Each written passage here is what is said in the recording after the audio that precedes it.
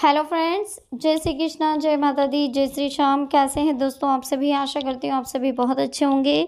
तो देखिए दोस्तों, आज की वीडियो का टॉपिक है कि महादेव ने आपके भाग्य में कितना पैसा लिखा है, आखिर क्या मिलने वाला है आपको, आपके भाग्य से।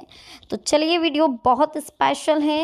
इसे लाइक कर दीजिए चैनल को सब्सक्राइब करें बेल आइकन को प्रेस करें और कमेंट सेक्शन में राधे राधे के साथ ही अपने माइंड के डाउट्स भी हमारे साथ क्लियर ज़रूर करें। शुरुआत करते हैं, वीडियो को जल्दी से शेयर कर दीजिए। देखिए, स्क्रीन पर आपको तीन मटके दिखाई दे रहे होंगे। तीन आपको जिन पर नंबर्स डले हुए हैं फ़र्स्ट पिल है double two second pill double five और थर्ड पिल है डबल सेवन इन तीनों में से कोई एक पिल चूज़ कर लीजिए, उसके बाद हम देखेंगे टेरो कार्ड और यूनिवर्स की तरफ़ से आपको कौन से संकेत मिले हैं, आखिर क्या कहना चाहते हैं ईश्वर आपसे? महादेव जी के क्या संकेत हैं आपके लिए? आखिर क्या लिखा है आपके भाग्य में? किस तरह से चलने वाला है आपका भाग्य? बात कर लेते हैं फ़र्स्ट नंबर पील की कि आखिर महादेव ने आपके भाग्य में कितना पैसा लिखा है, जिन्होंने डबल टू नंबर चूज़ किया है। देख लेते हैं टेरो कार्ड आपके लिए क्या कह रहे हैं। टेरो कार्ड बता रहे हैं दोस्तों कि आप बहुत ही स्वाभिमानी इंसान हैं, बहुत ही समझदार इंसान हैं। आप हमेशा अपने पैसों का जो खर्च है बहुत ही सोच समझ कर तोल मोल कर करते हैं। कभी कभी आप इतने उत्सुक हो जाते हैं कि आपको आ, कहीं पर भी आप दोस्तों के बीच अगर रहते हैं तो बहुत ईमानदारी से पैसा खर्च करते कभी भी आप पैसे खर्च करने में वहाँ पर संकोच नहीं करते हैं लेकिन जब घर पर बात आती है तो आप बहुत ही तोल मोल के पैसे खर्च करते हैं। इस वजह से आपको कई बार लोग कंजूस भी कहते हैं। लेकिन आपका इस तरह से पैसों का खर्च करना यही बताता है कि भविष्य में आपके पास कभी भी भी पैसों की कमी नहीं होगी। जो अनाप शनाप खर्चे करता है, फालतू खर्चे करता है, अनावश्यक खर्चे करता है, उसके पास कभी भी लक्ष्मी टिकती नहीं है। और अगर आप तोल मोल कर खर्च करते हैं तो ये आपकी बहुत अच्छी आदत है। इसी के साथ ही आप अपने पेरेंट्स की हमेशा इज़्ज़त करते हैं, उनका सम्मान करते हैं, आप कभी झूठ नहीं बोलते हैं, सेवा भाव आपके दिल में रहता है और कभी भी आप किसी को तकलीफ़ में नहीं देख सकते। अगर आपको देख रहे हैं, आपके कोई तकलीफ़ में है तो बहुत जल्द आपको उस पर दया आ जाती है। और यही दवा, दया भाव जो रहता है कभी कभी आपके दुख का कारण भी बन जाता है। कहते हैं ना कि दया ही दुख का कारण है। इस वजह से कभी कभी आप मुसीबत में भी फंस जाते हैं, बहुत से लोग आपका फ़ायदा भी उठा लेते हैं और आपका नुकसान भी हो जाता है।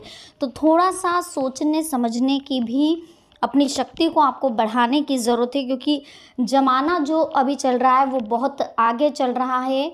आप सोच भी नहीं सकते हैं कि ऐसे ऐसे लोग इस दुनिया में बैठे हैं, जो आपसे कई गुना आगे की सोचते हैं। कई कितने ही फ्रॉड बैठे हुए हैं तो इनसे संभलते हुए आपको दान पूर्ण करना है, क्योंकि कहीं आपके दान का कोई व्यक्ति ऐसा फ़ायदा ना उठा ले, जिससे कि आपको ही नुकसान हो। मेहनत बहुत करते हैं आप, आपके भाग्य में पैसा तो बहुत लिखा है, लेकिन जिस तरह से आप अभी मेहनत कर रहे हैं, उस तरह से परिणाम आपको नहीं मिल रहे हैं।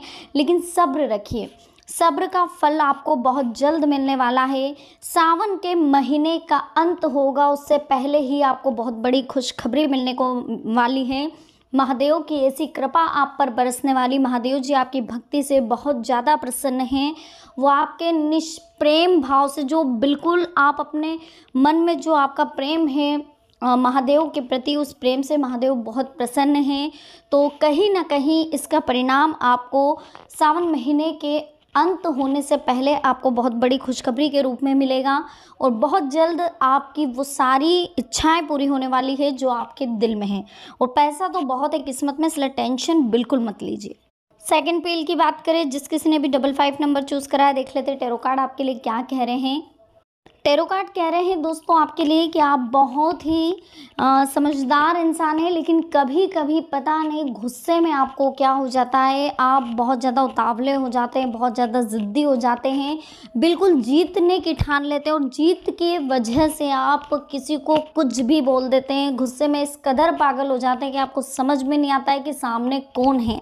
आप किसे क्या बोल रहे हैं ये तक आपको समझ में नहीं आता लेकिन जब आपका गुस्सा शांत होता है तब आपको बहुत ज़्यादा अफसोस भी होता है। कभी कभी तो ऐसी कंडीशन क्रिएट हो जाती है कि आप खुद आगे होकर माफ़ी भी मांग लेते हैं कि मेरे मुँह से गुस्से में पता नहीं क्या निकल गया। आप बहुत दिल के साफ़ है, टेंशन मत लीजिए, दिल बहुत साफ़ है, आपका भगवान पूरी तरह से आपके साथ है। आपका जो मन है, वो कभी भी मन में भेद नहीं रखता है। आप हमेशा अपने मन की बातें, अपने परिचित को, अपने क्लोज़ फ्रेंड को बताते रहते हैं। आपके दिल में कभी किसी के लिए बुरा नहीं है। जो दिल में है, वही आपके मुँह पर रहता है। आप मुँहफट बोलते हैं। आप बिल्कुल सामने बोलते हैं। अगर किसी के लिए कुछ बुरा भी लग रहा तो आप उसके मुँह पर बोल देंगे। लेकिन यही बातें लोगों को चुभती है। आपका सीधा बोलना।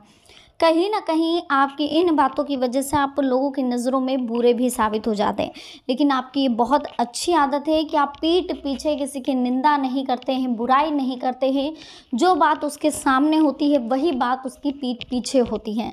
ये अंदाज आपका बहुत अच्छा है। साथ ही महादेव जी आपकी भक्ति से बहुत प्रसन्न हैं।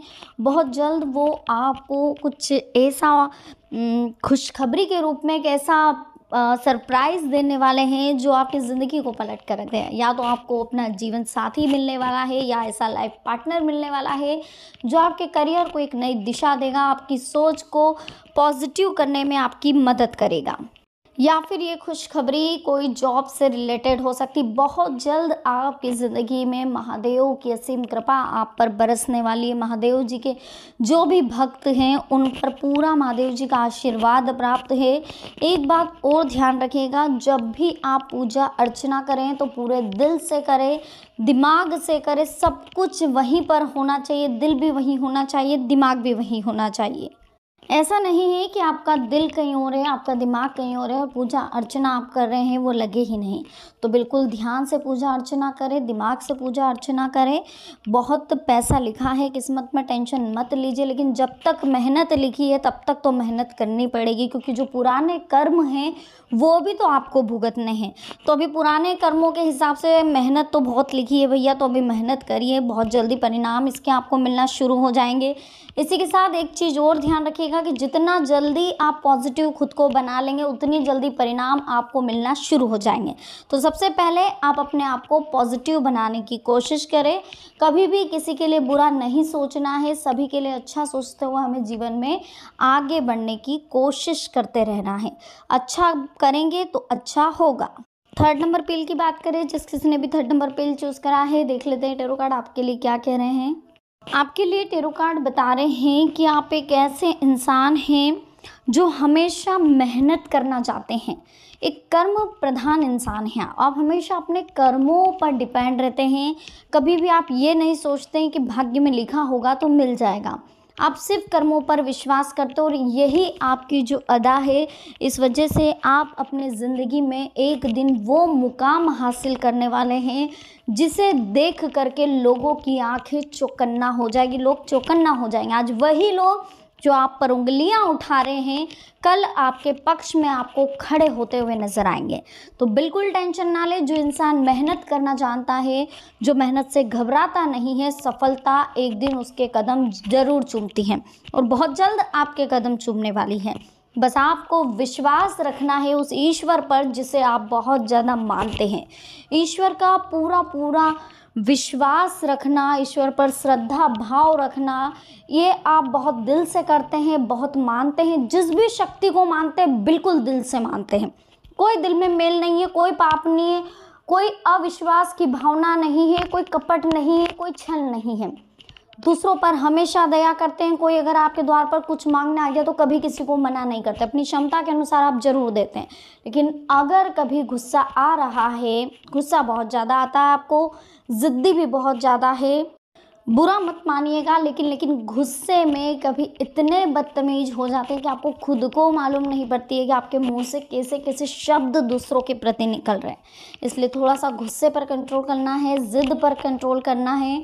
ओवर कॉन्फिडेंस और ईगो को बिल्कुल अपने ज़िंदगी में मत आने दीजिए। नेगेटिविटी है, इसको बाहर रहने दीजिए। पॉजिटिव बनने की कोशिश करिए। बहुत ज़्यादा कोशिश करते रहते हैं आप, बहुत जल्दी सफल आप होंगे। लाइफ आपको उस राह पर ले जा रही है, जिस राह के बारे में आपको अभी तक पता भी नहीं है, लेकिन ये राह आपके लिए बहुत जल्द सक्सेस आपको दिलवाने वाली है। दोस्तों, आपने हमेशा अपने ज़िंदगी में लोगों के लिए मदद करी है, लोगों के बारे में अच्छा सोचा है, लेकिन कभी भी आपको मिला है तो वो धोखा मिला है, विश्वासघात मिला है। इसलिए हमेशा आप अच्छा करते रहे, टेंशन मत लीजिए, जो पुराने कर्म हैं वो निकल जाएँगे, लेकिन अब जो आप करेंगे, उसका भविष्य में आपको और आपकी दर पीढ़ी दर को मिलेगा। तो इसका फल पाने के लिए आपको सबसे पहले अपने आप को पॉजिटिव बनाना होगा, अपने गुस्से पर कंट्रोल रखना होगा, अपने आवेश में आकर कभी भी किसी पर भी कोई गुस्सा नहीं निकालना, ना कोई वाद विवाद करना, ना ही कोई बहस करना, इन चीज़ों का विशेष ध्यान रखेगा। तो दोस्तों, आज की वीडियो हमारी कैसी लगी? पसंद आई हो लाइक करें। कमेंट सेक्शन में जय माता दी लिखे चैनल को सब्सक्राइब करें बेल आइकन को प्रेस करें। मिलते हैं नेक्स्ट वीडियो में। अभी के लिए आप सभी को बहुत बहुत धन्यवाद। जय माता दी। हर हर महादेव।